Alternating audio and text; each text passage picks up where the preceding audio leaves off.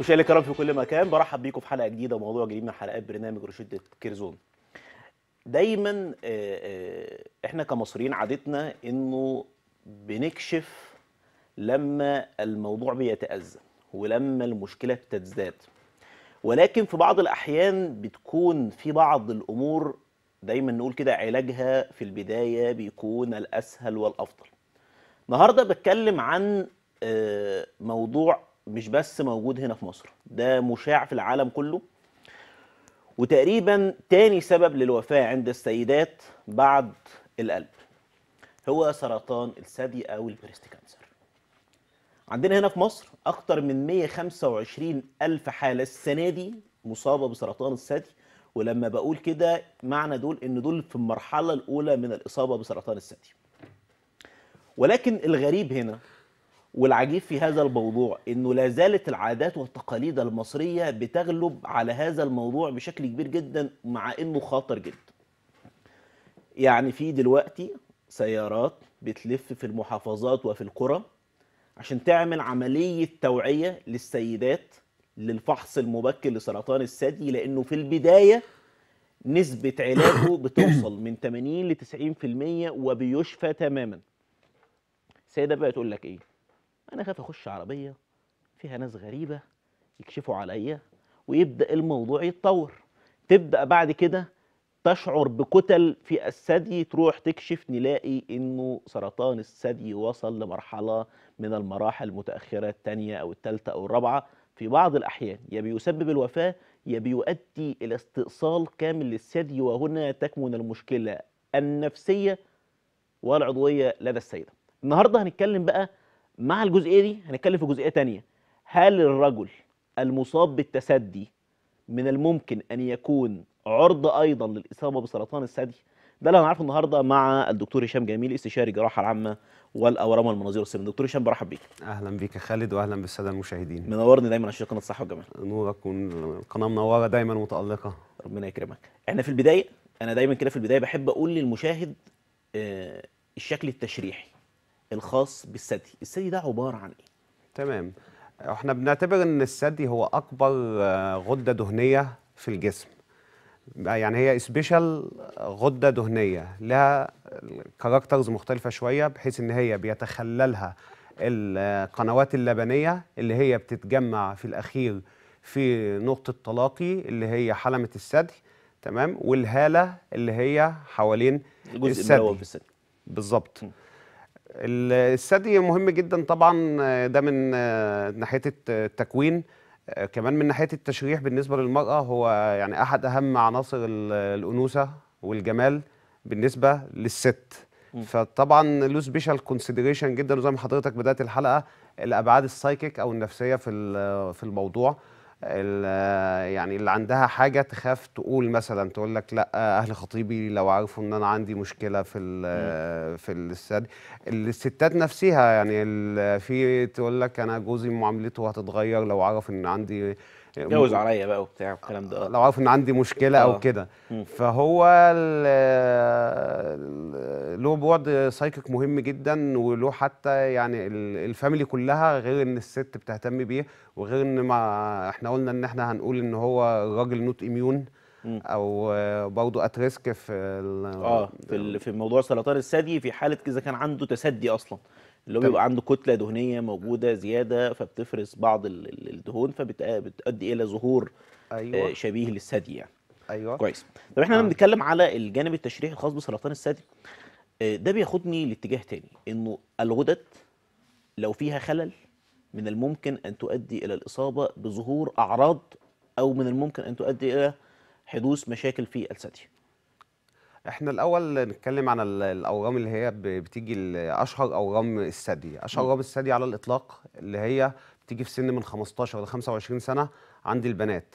تيجي 15 25 أيوه ده اللي بتيجي كتلة firm كده.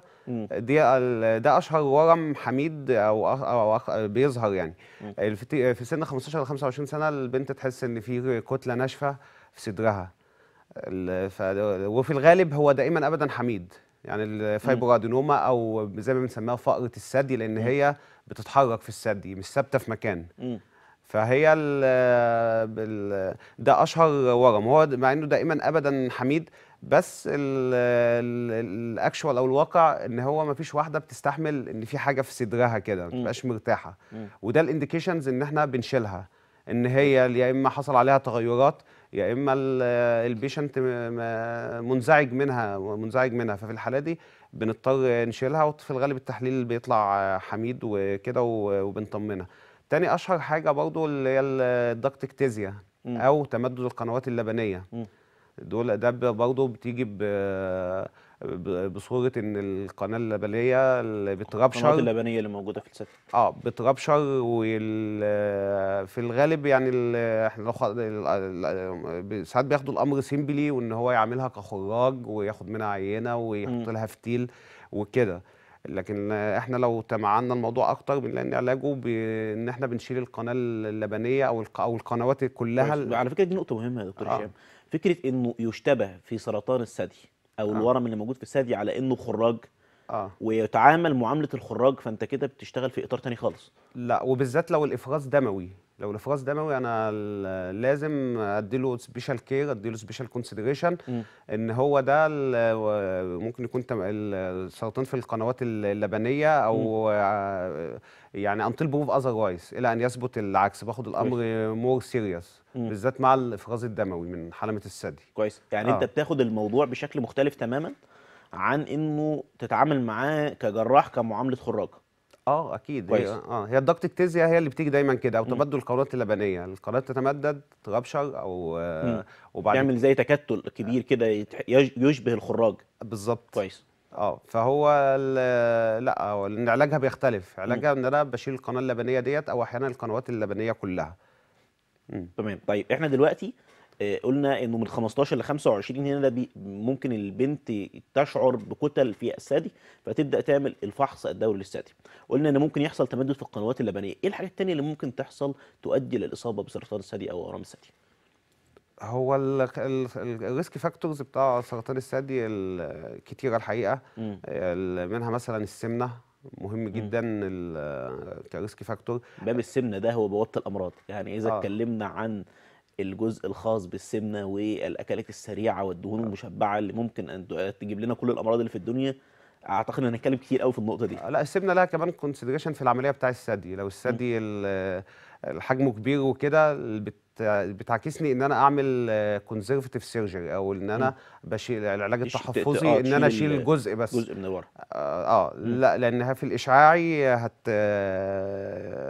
هت هتعكسنا بعد كده يعني. آه even كده. في برضه ال history ال history ده حدث ولا حرج في في ال breast cancer بداية من ال genetic آه آه، ال BRCA 1 وال BRCA 2 genes. ال family history كويس. لو قلنا التاريخ المرضي آه، ل- لسيدة هذه السيدة عندها مثلا 40 سنة وكان آه، عندها سرطان الثدي. عندها بنت. البنت دي معرضة بنسبة قد إيه؟ للإصابة بنفس المرض أو بسرطان الثدي أيضا. هي معرضة ولازم إن إحنا إحنا في الطبيعي بنقول للست بعد عند سن الأربعين للست الطبيعية بنقول لها عند سن الأربعين ال- تبدأي تعملي الماموجرام كل سنتين وال ultrasound كل سنة. مم. لا ال- البنت ال- اللي هي عندها family history بتبدأ من قبل كده. يعني ست آه. شهور. بالظبط. آه. ولازم تبدأ من قبل كده يعني. وبرضه في ال ال ال في ال family history ده يعني عندي الحاجات اللي even ممكن أبدأ أبحثهم genetic لو الأم ال- ال mother أو لو two members من نفس ال thread. في ال family. يعني عمتينها الاثنين آه، خالتينها خالتينها الاثنين الاثنين آه أكتر آه. من حد في نفس العيلة من الممكن أن تكون معرضة أكثر للإصابة بسرطان الثدي آه حتى لو في ال- ال- الراجل في العيلة. جاله ال breast أو آه، sorry آه. آه، ca- cancer. آه، cancer. prostate. أو colon أو بنكرياس لا ثواني يعني آه. لو جاله أي سرطان تاني مش شرط إنه يكون في الثدي آه الثلاثه دول اللي يعني أنا بقول عليهم القولون أو البروستات وال colon والبنكرياس يعني أي واحد من الثلاثه دول عنده حد في العيلة من الممكن إن بنته أو أي حد من نفس ال- العيلة ممكن يصاب بده. أيوه ليه؟ و- وبيحت- هي هو في genetics بيحتاج جينيتك كونسلنج مم. محتاج genetic counseling في الحالة ديت. برضه لو في double malignancy double malignancy يعني إيه؟ حد في العيلة جاله double malignancy يعني primary ال- ال breast وال liver. وال liver نقصد هنا مش ال metastasis لأ أو الثانويات اللي هي بتيجي في من سرطانات تانية. ال primary liver يعني أنت بتتكلم. إنه لو جه سرطانين مختلفين أيوه. للشخص زي مثلا في البروستاتا مثلا أو في القولون ومعاه حاجة تانية. أيوه. فده شخص معرض أكتر ال ال الأسرة بتاعته أو ال family history بتاعته بيقول إنه ممكن أن يكون معرض للإصابة بسرطان الثدي. ده indicated لل genetic counseling. إن أنا اللي اعمل آه، فحص جيني. آه للفحص الجيني ده بقى يعني بقى مهم دلوقتي يعني في مم. موضوع ال- ال breast بالذات يعني. عندنا في مثال على كده الممثلة الأمريكية آه أنجلينا جولي. آه يعني even لما لقت عندها BRCA 1 و BRCA 2 positive آه. الاثنين فهي عملت ال- شالت ال breast وشالت ال ovaries. شالت ال- ال- الثدي وشالت البويضات الم- المبايض. المبيض آه. آه. كهنا كب ك prophylaxis لل من إن يجي لها كده وعملت بعد كده عم implants أو ثدي صناعي ثدي صناعي أو ال implants اللي هي ال silicone implants وكده. وفي نفس الوقت خلاص هي بقت at high risk. لأن بال- بالتشخيص ال- هي زي ما الجيني بيقولوا كده لما حست إن هي من الممكن أن تعرض للإصابة بسرطان الثدي.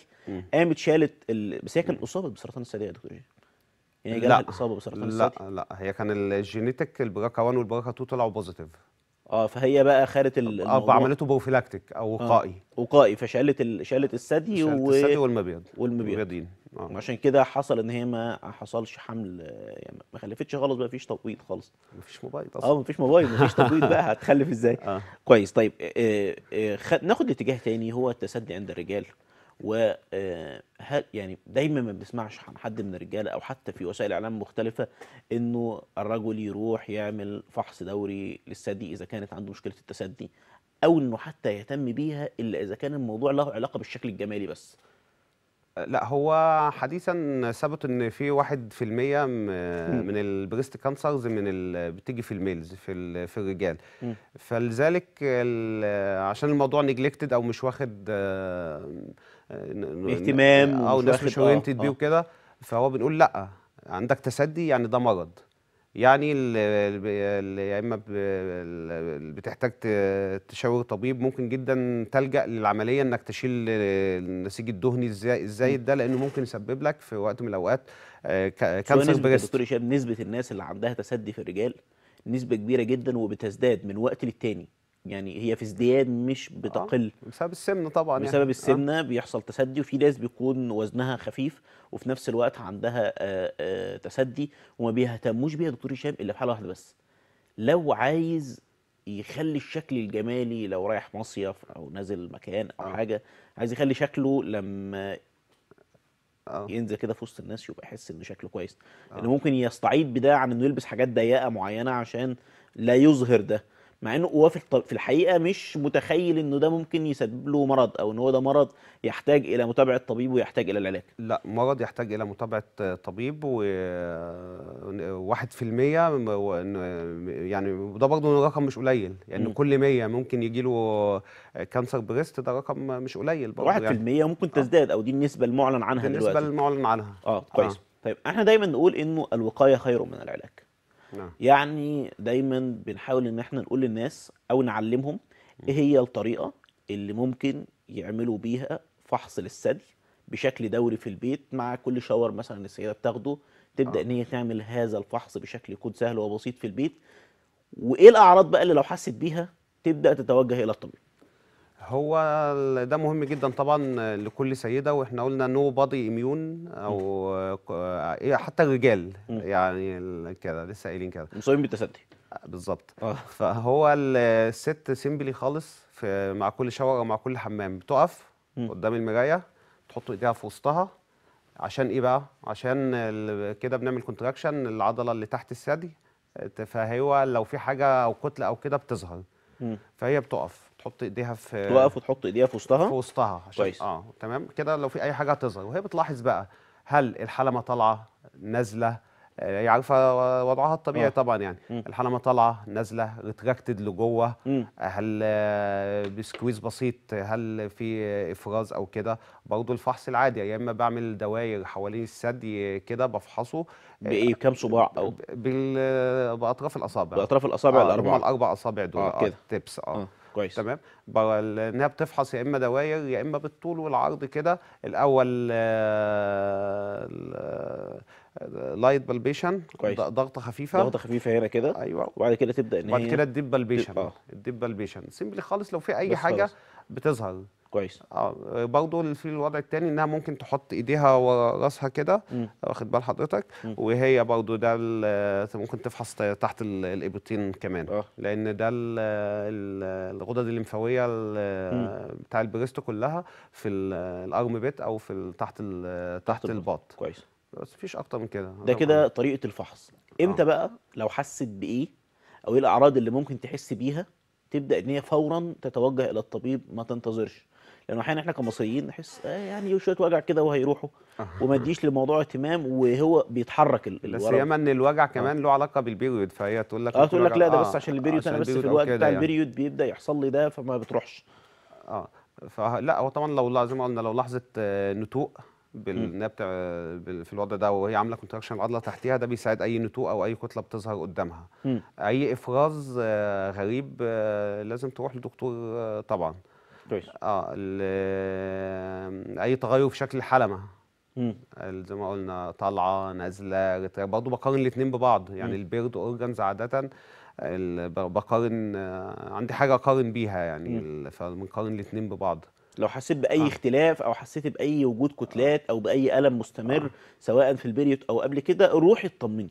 ده اللي أيوة. أنت عايز تقوله. صح كده؟ أقوله آه يعني يعني هو ال period عادي لا الطبيعي إنه بيجي فيها ألم آه، ألم بس مش آه. لدرجة إنه يبقى في كتل مثلا ومش هتفضل موجودة مش آه، هتفضل موجودة باستمرار يعني بعد- هتفضل أول يعني. يوم أو أول يومين وبعد كده بتبدأ إن هي آه، آه، Subside آه أو- آه. تقل طيب. طيب آه، لو قلنا إيه هي المراحل سرطان الثدي هم تقريبا أربع مراحل لو خدنا كل مرحلة كده وبدأنا نتكلم عن كل مرحلة وظروفها والأجواء بتاعتها اللي ممكن تعيشها إزاي آه، ده مهم جدا لأن ال يعني الاستاتستكس بتقول إن أنت لو جيت لي في المرحلة الأولى نسبة العلاج من 85 ل 90% المرحلة الثانية بتضرب 35% المرحلة الثالثه كام في المرحلة الثانية كام؟ 35% يعني بت... يعني نسبة الشفاء بتقل من 80 90% في المرحلة الأولى؟ 35% ل 35% للمرحلة الثانية المرحلة الثانية المرحلة الثالثه من 10 ل 15% المرحلة الرابعة ده 0% حسب ال grading بتاع ال- ال breast cancer كويس المرحلة الأولى اللي هي؟ اللي هي يعني في الورم حجمه أقل من 2 سم ومش عامل آه، ليمف نود أو خل... مش خليني اقطعك هنا وأسألك سؤال آه. مهم عشان يتكون ورم آه. ودي بقى نقطة مهمة عشان يتكون ورم طوله 2 سم أو 3 سم أو 4 سم آه. بياخد وقت قد إيه عشان يتكون والله كانت جادج لأن الأورام بتعرفها أصلا إن هي نمو عشوائي. مم. يعني ال- الأورام أو الغدات السرطانيه هي من من تعريفها هي نمو عشوائي. هي يعني زي يقول لك الخليه اتهبلت آه. آه. بت- بتبدأ إن هي آه. ملهاش ملهاش وقت معين تم فيه. نقدر نقول إن في خلال ست شهور ال 2 سم دول هيزيدوا. لا طبعا هو السرطان بطبعه أو الاورام السرطانيه هي هي نمو عشوائي خارج ال- الناموس الطبيعي. آه فهو كانت جادج يعني يعني هيزيد عن كده يتحول عن عن كده أو هيزيد قد إيه بالظبط آه، بتعريف الأورام الخبيثه لا طبعا ما كانت judge خالص يعني. كويس. آه بس آه، هو الفكرة إن إحنا قلنا إن أنا بروح للدكتور على طول. بعمل ال- الفحوصات بتاعي. في ال breast ثلاث حاجات. ال clinical examination فحص الدكتور. ال- الاشعه الأشعة. sorry ال- اشعاعي آه السونار آه، بيبين تقريبا كل حاجة يعني. آه، بعد كده بشيلها وببعت عينة. تحلل آه. بس غالبا بتطلع معظمها بتطلع أورام حميدة يعني. آه والله نشوف نشوف التحليل آه، يقول آه بقى معظمها يعني. يعني هو النسبة الأكبر تقريبا في في البداية آه طبعا. حميدة. 80% من آه، بتكون الكتل آه. نسبة 80% بتكون في مم. أو 20% بتكون غير حميدة. دي. النسب بتاعتها بت- بتقول دي المرحلة الأولى. آه. اتأخرنا وعدينا المرحلة الأولى آه. ودخلنا في المرحلة الثانية إيه الظروف والأجواء بتاعتها.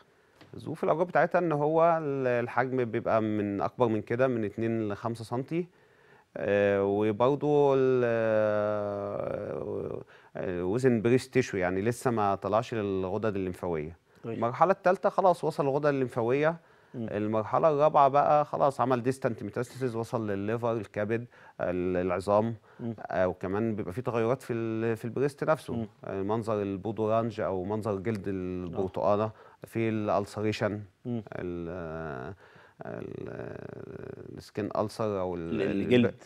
آه الباج أو ما يطلق آه. عليه ال Paget's disease آه ف نسب الشفاء يعني بت بتقل تماما لأن المرض بيكون انتشر يعني. كويس. وبعدين هو من التوعية وال يعني هو البريست من الحاجات اللي هي بتكتشف وبتعالج والناس بتعيش بعديه ب 15 و20 سنة ما ده في المرحلة الأولى بتبقى آه، الدنيا آه. أفضل بكتير جدا جدا جدا. زي ما قلنا 80 90% من الحالات بتشفى وما بيبقاش عندها أي مشاكل وبتعيش وتتعايش بشكل طبيعي تعيش وتتعايش وبيبقى هيستوري خلاص بقى. ال- فهو ده وإحنا التوعية المستدامة عشان كده انت التعالي في المرحلة الأولى الدنيا بتبقى أسهل ممكن حتى أعمل لك conservative surgery. إن أنا مش هشيل الثدي لا أنا هبدأ أستأصل الجزء ال- ال- آه. اللي فيه مشكلة من الثدي آه ب safety margin أو حد أمان مم. آه، حتى لو خدت والفتحة يا دكتور ما بتكونش يعني كبيرة أصلا. لا ما تكونش ظاهرة بتكونش كمان يعني بتكون. لها يعني تحت الهالة دايما آه. أو آه، آه، في مكان ظاهر، الملون حوالين الحلمة. فال يعني بس أنا هساعدك إن أنا هعمل conservative surgery ده تحديد ل آه، لظهور الورم تاني أو حدوث الورم مرة أخرى؟ لا أنا بشيله بحد أمان وال أحيانا بنعمل sentinel lymph node biopsy بشوف وصل الغدد الليمفاويه ولا لا. وبعد كده في الغالب بياخد بتاخد إشعاعي بعديه يعني. بتاخد يعني بنشيله الورم ده وبتاخد إشعاعي. كم جلسة تقريبا؟ آه، كام جلسة تقريبا. آه، أنا مش عارف بالظبط بس هو بس هو بنحولها الحاجات دي لقسم ال radiotherapy آه. والبرنامج نفسه بيختلف. يعني في الكيماوي أو- أو الإشعاعي ال programs نفسها بتختلف. من شخص من من شخص لاخر يعني. أيوه بالظبط. أنا أسمع المرضى يقولوا 16 جلسة. يعني آه، أحيانا آه، يجوا آه. يقولوا لي كده خدت آه. 16 جلسة اشعاعي أيوه عشان كده بسأل. ان آه. تقريبا المتوسط الطبيعي من من من 12 ل 16 أو 18 جلسة. تقريبا دي تقريبا متوسط آه. الجلسات في ال ال الإشعاعي بعد إيه استئصال ال- الورم يعني. بعد استئصال الورم آه آه. كويس. آه في الحاجات تانية بقى ال- اللي ممكن العلاج الهرموني برضو. ده في لو أنا خدت ال- شلت الورم ولقيت إن هو فيه ال- ال estrogen receptors. فهو كده ده index إن هو هيستجيب لل كويس. للعلاج يعني هرمون الهرموني. الأستروجين لو في مشاكل؟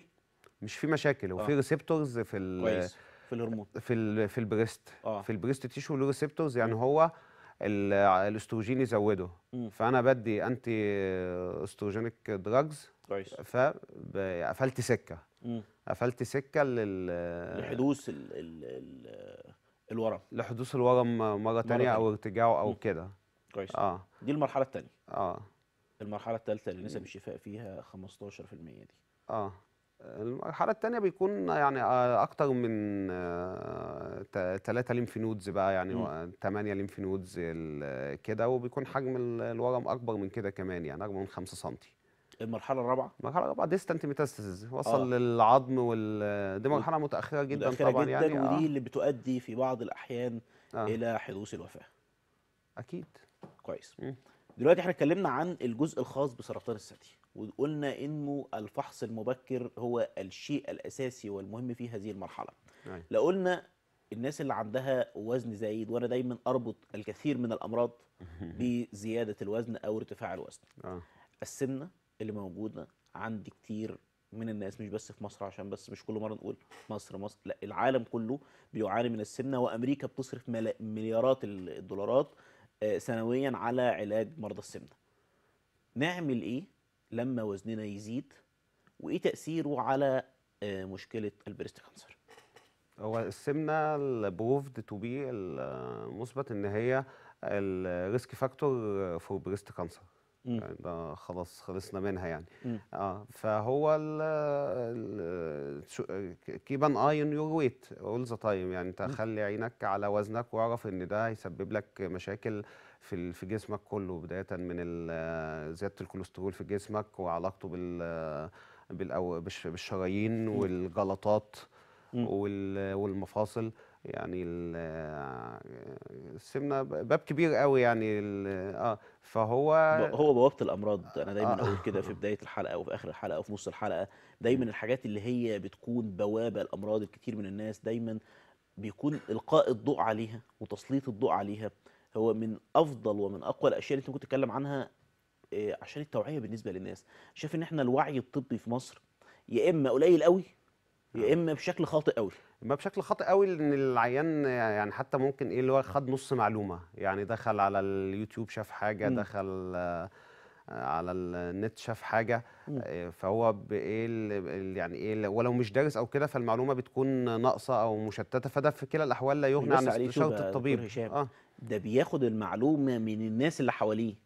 آه اسأل مجرب ما آه تسألش طبيب. آه تسأل مجرب ما تسألش طبيب ويبدأ يسأل اللي حواليه. ومش بس كده هسألك نقطة مهمة عن الصيدلي اللي بيدي وصفة دوائية آه، لحد جه قال له أنا عندي مشكلة وده. ولكن خليني بس أقول للسادة المشاهدين انوه عن عنوان عيادات كيرزون. دي موجودة في 55 شارع سوريا بالمهندسين. وفي الفرع الثاني لعيادات كيرزون موجودة في الشيخ زايد الحي الخامس خلف السنترال في داخل مو سكاي مول.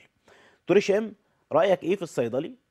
أو ال أو ال السيدة أصلا أنا دايما مش بلوم بس على الصيدلي أنا بلوم على الصيدلي واللي بيروح للصيدلي هو الصيدلي مالوش آه. ذنب واحد بيجي له وبيلجأ له وبيستعطفه آه. زي ما إحنا متعودين أو مش عاوز يروح معهوش فلوس يروح لدكتور أو أو مستخسر في فلوسه يديها له في فحص الدكتور في فحص مجاني آه. يا دكتور هشام آه آه لسرطان الثدي في أكتر من مكان آه، وفي حملة وفي حملة للقضاء آه. على سرطان الثدي الناس آه. بتتكسف تروح أو ما بتديش للموضوع أي أهمية. لا الناس ما لو فيش كسوف خلاص ما إحنا قلنا nobody is immune وكل ست فوق 40 سنة خلاص إنها بت بتعمل السونار كل سنة ده لو ما عندهاش حاجة ما فيش family history الست مم. الطبيعية يعني ما عندهاش risk factors بتعمل السونار كل سنة وبتعمل الماموجرام كل سنتين. كويس.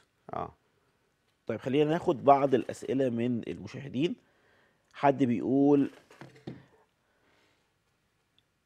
هل النظام الغذائي منخفض الدهون يمنع الإصابة بسرطان الثدي؟ أكيد طبعا أكيد آه، آه، بتحمي نفسك من من السمنة والسمنة risk factor زي ما إحنا لسه قايلين يعني. مم. آه. طيب آه، سيدة أخرى بتقول أعاني من ألم في الإبط الأيسر. لا إحساس بالألم الخارجي لكنني أشعر أن هناك شيئا لا أستطيع تحسسه. هل هذا يستدعي أن أرى طبيبا نسائيا أو طبيب الرعاية الأولية أو أو جراح يعني؟ أكيد. مين؟ تروح لمين؟ آه، دكتور نساء ولا جراحة؟ هو التخصص في الأخير جراحة بس مم. لو هتروح لدكتور يوجهها على أساس إن الدكتور هيوجهها لجراح برضه. بس هو التخصص المفروض جراحة طبعا يعني. هل من الضروري زيارة الطبيب إذا كنت لا أشعر بكتلة؟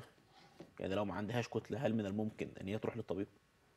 والله اتشرف في أي وقت بس هو مش مش indicated طبعا يعني بس هو ك إلا بعد سن ال 40 مم. بعد سن ال 40 آه، ب- بنتابع أو بن ن follow بس هو هي مش indicated إن أنت طبيعية ومش حاسة أي تغيرات آه، في. الثديين فما فيش فما فيش ما فيش ما فيش ما يدعو إن أنت تروحي للطبيب يعني إلا لو. أنت قلقانة بزيادة وكده وعايزة تطمني يعني هل صحيح أن الضغط على الثدي خلال الميموجرام يمكن أن ينشر الأورام الصغيرة؟ لا ما هو هنا بقى في حاجات كتيرة قوي ده في أيوة. في ناس بتخاف تقول لك أنا هشيل ال- الورم دبة المشرط فيه هتنشره لي يعني آه، في ناس أيوة، في أيوة، ناس تقول ما- لك كده تقول لك آه إيه إيه الأفكار آه. يعني دي منين الأفكار المغلوطة دي يا دكتور هشام؟ آه. يعني أنا دايما شايف أسئلة كتيرة قوي آه برضه معظمها حد بيسأل تاني تناول طعام به نسبة عالية من الدهون بيسبب سرطان الثدي ولا لأ؟ قلنا آه وده متفقين عليها م- ممكن آه، مظبوط. والحد منه في مشكلة. الناس دي بتجيب الكلام ده منين؟ أو الأفكار دي منين؟ ما ثقافة موروثة بقى آه، مفاهيم خاطئة طبعا يعني. مم. التوعية وكده ونشر الوعي السليم أكيد بتقل. مرض سرطان الثدي يا دكتور مرض معدي؟ لا. غير معدي. الأورام مش معدية. كويس. آه. آه بتقول أنا سيدة عندي والدتي آه هي آه سيدة عندي والدتي عندها كان عندها إصابة بسرطان الثدي. هل بالضرورة إن أنا هاصاب بسرطان الثدي ولا لأ؟ آه ده سؤال حلو على آم، آه، هي لازما بتبقى at risk وده. ولازما بت بت follow مع مع الدكتور زي ما إحنا قلنا يعني. بس مش كل ست وزي, وزي ما ال risk factors اللي إحنا قلناها ديت يعني نسينا نقول برضو إن يعني اللي اتجوزت متأخر أو اللي اتجوزت وخلفت متأخر آه أو اللي اتجوزت وما كانش فيه رضاعة طبيعية أو كده ده ده عوامل فعلا بتؤدي إلى ال- أو risk factors ال cancer breast بحيث إن. الأستروجين قعد في جسمنا عالي فترة طويلة جدا مم. بس يعني ممكن ست اتجوزت في سن معقول خلفت في سن معقول. كانت بترضع طبيعي بيجي لها ال- ال breast cancer مم. تمام فهو ما يعني مش بالضرورة اللي والدتها عندها breast cancer هيجي لها breast cancer ومش بالضرورة إن اللي ما واحد اللي ما يجيلهاش. عندهاش أي risk factors خالص مش هيجي لها آه آه. فده ده سؤال حلو بت- واحدة بتقول آه، أنا عندي 52 سنة آه، وحاسة بكتل في الثدي أثناء عملية ال- الاستحمام يعني وهي بتاخد الشاور. وكشفت وما طلعش آه، في مشكلة بس أنا كشفت عند دكتور نسا ما كشفتش عند دكتور آه، خاص ب- بالجراحة يعني.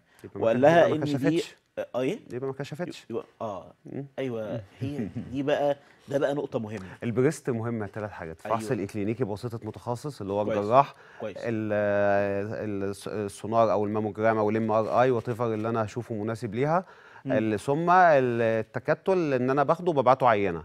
ببعته عينة pathology histopathology يعني أنت عايز آه. تقول لي أو تقول للسيدة إن أنت لما رحتي كشفتي أو فحصتي الثدي عند دكتور النساء ما كشفتيش. كأنك أو أنت رحتي. حتة تانية يعني آه. آه. رحت حتة تانية غير ظهرك وجعك فرحت للدكتور قلب. أيوه. صح كده؟ أكيد. كأنك ما كشفتش. طيب سيدة أخرى بتقول أنا والدتي كان عندها سرطان كان عندها سرطان ثدي وأنا متزوجة وحامل. آه. هل هيبقى في مشكلة في الرضاعة إن أنا ممكن حتى أصاب بالسرطان ولا لأ؟ هي سنها كام سنة؟ 23 سنة. 23 سنة وده آه. كان عندها تاريخ مرضي يعني المصابة بسرطان الثدي وهي يعني حامل تقريبا وهتخلف. هل ده ممكن إن هو يكون عرضة للإصابة بسرطان الثدي هترضع ما ترضعش الرضاعه يبقى لا هي بت... حياتها طبيعية خالص يعني. مم. حياتها طبيعية. هي بتعرف بس إنها عشان والدتها عند... عندها تاريخ مرضي في... في والدتها فإن هي آه، بتتابع إن هي ات ريسك زيادة آه. شوية عن التانيين. بس اللي زي ما إحنا لسه قايلين مش بالضرورة هيجي لها سرطان ثدي ولا اللي ما عندوش risk factors خالص إن ده immune ومش هيجي له حاجة. مش هيجي له. آه لا هي كويس. بتبقى بس إن هي بت... أنت بت... هي تعرف إن أنت at risk زيادة بس بتعيشي حياتك طبيعية خالص يعني. وترضعي وتخلفي ومفيش ما مشاكل فيهاش أي مشكلة حد بيسأل وده السؤال اللي إحنا كنا بدأنا بيه الحلقة شكله ما شافش الحلقة من الأول بيقول مرض سرطان الثدي يصيب فقط الستات وليس الرجال لا بيصيب 1% من الرجال آه. المرضى بالتثدي ودي نسبة مش قليلة مم. يعني في كل آه. 100 في كل عندنا 100 واحد من الممكن أن يكون معرض آه. للإصابة بسرطان الثدي أكثر من غيره من الرجال. واللي عنده تسدي بيفولوا زي الستات آه، بالظبط كده ولو في أي سسبشن بيشيل ال بيشيل الثدي آه بيشيل الثدي أو النسيج الدهني ده. كويس. حد تاني بيسأل تغير في شكل الثدي أو حجمه أو محيطه؟ ده ممكن يبقى في البداية في هي صغيرة 18 سنة. إن هو شكل الثدي هل ده إيه- أقدر أفرق إزاي ما بين الأعراض الطبيعية يعني اللي هو ال- التغير الهرموني في مرحلة البلوغ وما بين إنه ممكن يبقى عندي مشكلة في الثدي؟ والله حسي صدرك شوفي أنت في كتل في هي حاسة بتغير في شكل الثدي أو في حجم الثدي. لا الحجم و- الحجم آه. وبرضه السيمترية مهمة هل هو زي ده يعني السيمترية مهمة جدا بقارنه بالتاني. مم. يعني هل الزيادة في ثدي واحد ولا في الثديين؟ آه. ده مهم جدا. أي. عضو آه. بايلاترال عندنا في الجسم إن أنا ب- طب لو الاثنين نفس ال آه، نفس ال في الغالب بتبقى حاجة لها علاقة بالبيوبرتي أو البلوغ. آه بالبلوغ حاجة آه، طبيعية. أو حاجة لها علاقة بزياده الهرمونات مثلا أو كده يعني في. وقت معين. آه، سيدة بتقول أنا عندي إفرازات شفافة آه، من الحلمة الخاصة من حلمة الثدي. ده ممكن يكون أعراض. ممكن يكون أعراض لل duct ectasia ممكن أعراض السرطان ال- لا لا مش ال... هي ال... هي ممكن اعراض لمرض تمدد الثدي. أو القنوات اللبنية. آه، آه، اللي هي القناه اللبنية أو ال fibrocystic disease اللي هو مرض تليف الثدي. آه. أنا رساله الماجستير بتاعي كان عن الموضوع ده على فكرة. عن إيه؟ كان ال bleeding per nipple أو الإفراز الدموي من حلمة الثدي. هي كده سألت في الماجستير. آه بتسالني في الماجستير. آه. فهو ال- يعني هو ممكن جدا يكون علامة وكانت نتائج الرسالة في الأخير وصلت إن ال- آه، أشهر سبب لل الب- لل الإفراز الثدي يعني إن هو ال- يعني 40% fibrocystic disease أمراض تليف الثدي و40% ال duct ectasia آه. آه وبقيه ال يعني الفادي 80% منها بتبقى حاجة حميدة بالمرضين دول. كويس. آه فهي في كلا الأحوال لازم تستشير طبيب طبعا يعني. كويس. لازم تستشير طبيب جراح. سؤال مهم بقى. آه. واحدة بتقول الكريمات الموضوعية أو العلاجات الموضوعية لو أنا عندي سرطان ثدي بتوديها ولا لأ؟ أنا مش هرد على السؤال ده رد أنت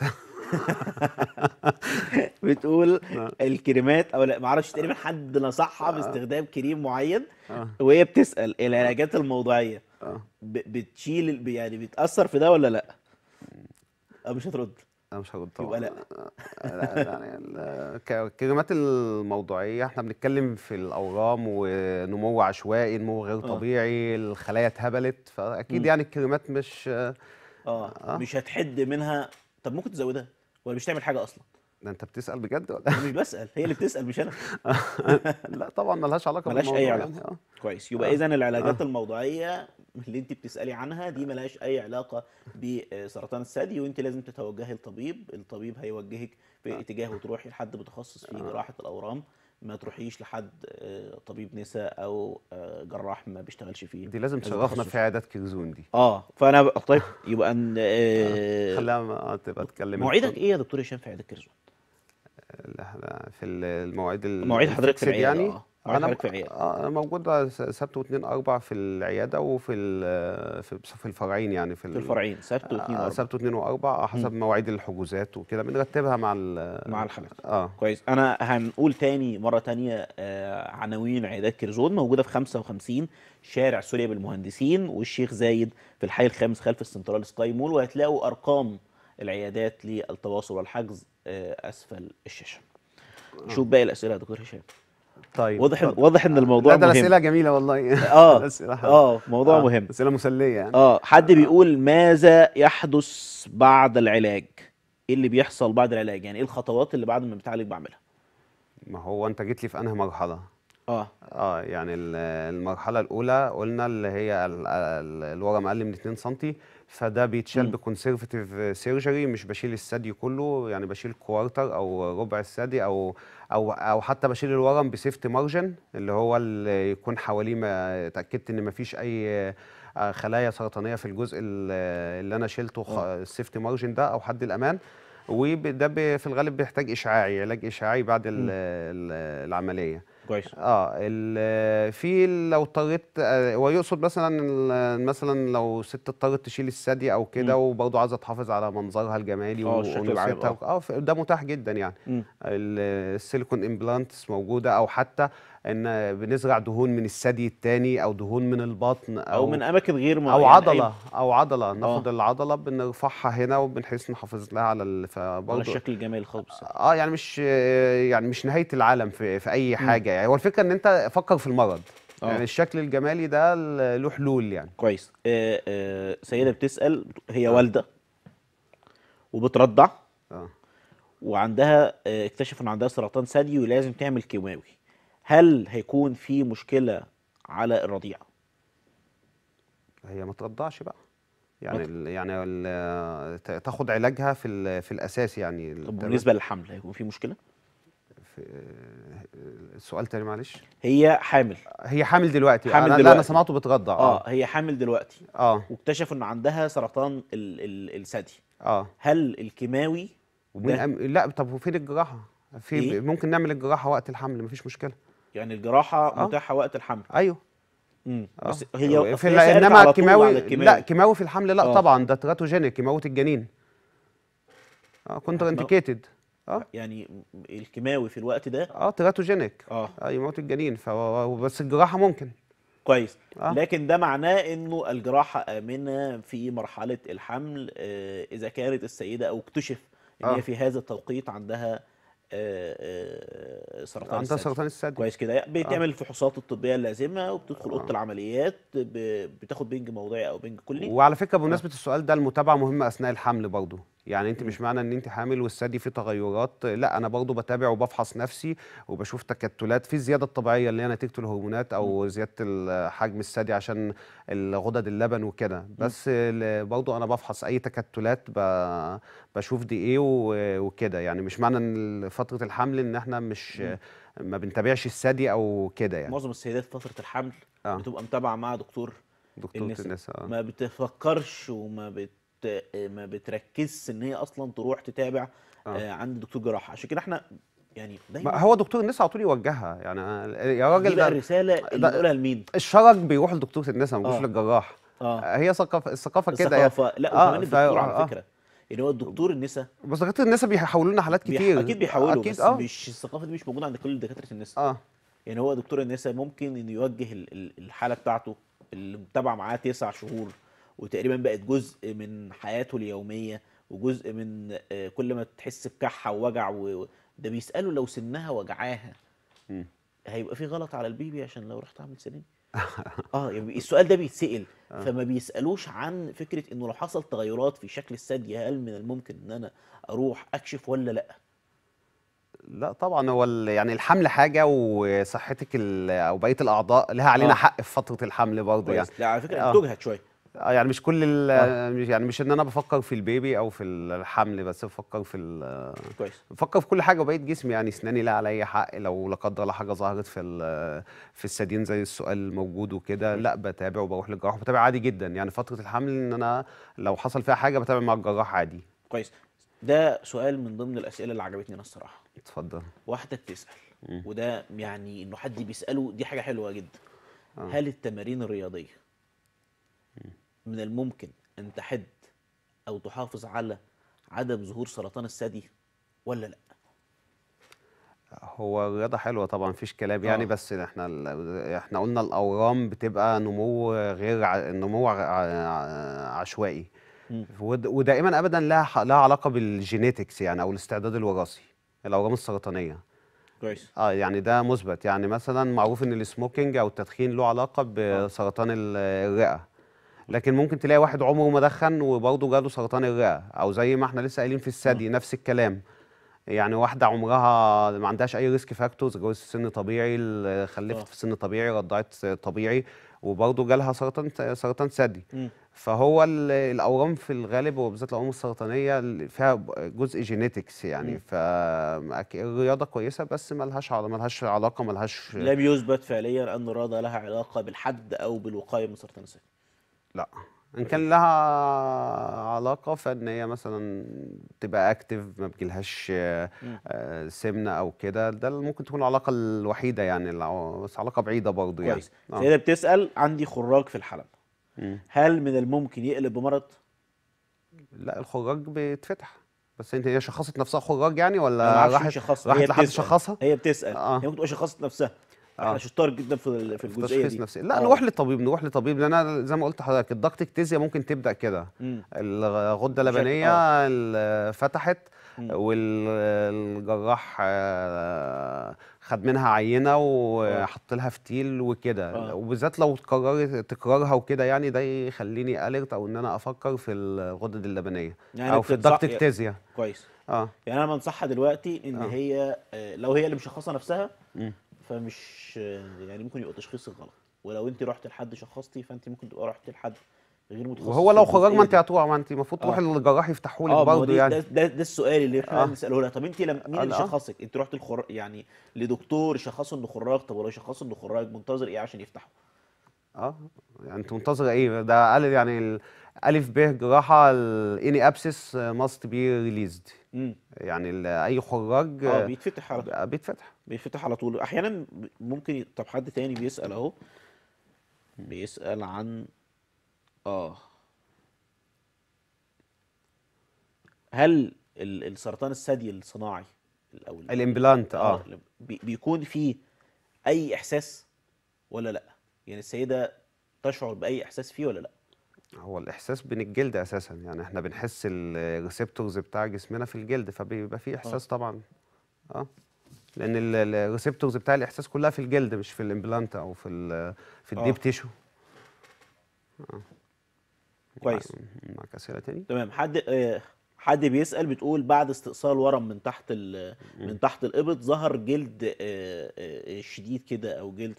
شبه الفيل شبه جلد الفيل. أنا ما أعرفش إيه جلد الفيل آه لا أنا ده ال- الليمفيديما آه. كلامها مظبوط. آه ده. سؤال ال- ده بتحصل. بتحصل لأن إحنا لما بنشيل الغدد الليمفاوية فالغدد الليمفاوية ديت دي المصفى اللي بتلم المية وال أو ال- الأنسجة الهالكة من الجسم أو كده. فهي لما ساعات بت- بتتشال كلها فبتعمل ليمفيديما. آه. ليمفيديما يعني ال- الغدد اللي ما فيش حاجة تصرف آه. المية أو. الخلايا الهالكة أو أو كده يعني بس في لها عمليات لها بقى هي العمليات اللي ممكن هي تعملها عشان تعالج في عملية اسمها ال Homans procedure إن إحنا بنرفع flaps من تحت هنا وبنشيل ال deep ال deep. ال deep tissue ده وبنتيجة كويسة جدا يعني كويس. بس هي complication شهير بعد عملية ال- الاستئصال ال- ال total mastectomy أو استئصال الكلي. للثدي يعني لأن أو الغدة الليمفاوية معاه طبعا يعني. دكتور هشام هو وقت الحلقة انتهى بقاله ثلاث دقايق. تمام. آه عاوز نصيحة في النهاية للسادة المشاهدين بشكل عام. النصيحة الوقا- الوقاية خير من العلاج وده يعني في موضوع ال breast مهم جدا. إحنا قلنا ال- الفحص الدوري وشرحنا طريقته إزاي للست. في الحمام بتقفي ايديكي في وسطك بتفحصي صدرك يا إما دواير يا إما بالطول كده الأول بال superficial palpation أو الضغط الخفيف وبعد كده ال deep palpation اللي هو الضغط ال- العميق شوية. وأي حاجة اكت- اكتشفتيها أو شكيتي فيها روحي اطمني من الدكتور. والطبيب فورا. آه قلنا بعد عند سن 40 سنة ده بي آه، في الفحص الدوري ال- كل سنة بالسونار لازم كل سنة والماموجرام كل سنتين. كويس. آه ولو قل- عندكم حد مصاب في العيلة كل ست شهور روحي اعملي كشف؟ أيوه روحي اطمني لو عندك بتبقى قبل كده طبعا. كويس. آه قلنا برضو ال- الحلقة ركزنا على إن برضو الراجل هو ده موضوع شهير بالسيدات ومرتبط بيهم طبعا يعني. ولكن أي الراجل ليه راجل نصيب عندك 1% ليه نصيب 1% آه. في مرض التسدي. كويس. فأنت برضو الموضوع ده مهم. كويس. آه. دكتور هشام جميل استشاري الجراحة العامة والأورام والمناظير. والسن بشكرك شكرا جزيلا. شكرا يا خالد وشكرا للسادة المشاهدين. شرف مشاهدينا الكرام في كل مكان. آه، آه، هذا البرنامج آه، أو هذه الحلقة من أحب الحلقات اللي أنا دايما بحب أتكلم فيها. لما بتكلم عن السيدات وكيفية الوقاية من الأمراض اللي ممكن تكون أكثر انتشارا للسيدات. كان معايا النهارده ضيف وشرفني سعدت كثيرا جدا بإجاباته المميزة على كل اسئلتكم. واستفساراتكم إن شاء الله بإذن الله تعالى آه، آه، الناس اللي حابة تتواصل مع عيادات كيرزون هنقول العنوان مرة تانية والأرقام أسفل الشاشة. عنوان 55 شارع سوريا بالمهندسين والشيخ زايد الحي الخامس خلف السنترال بسكاي مول. ولحد ما نشوفكم في حلقة جديدة من حلقات برنامج روشتة كيرزون لكم مني كل التحية والتقدير. أنا خالد صقر والسلام عليكم ورحمة الله وبركاته.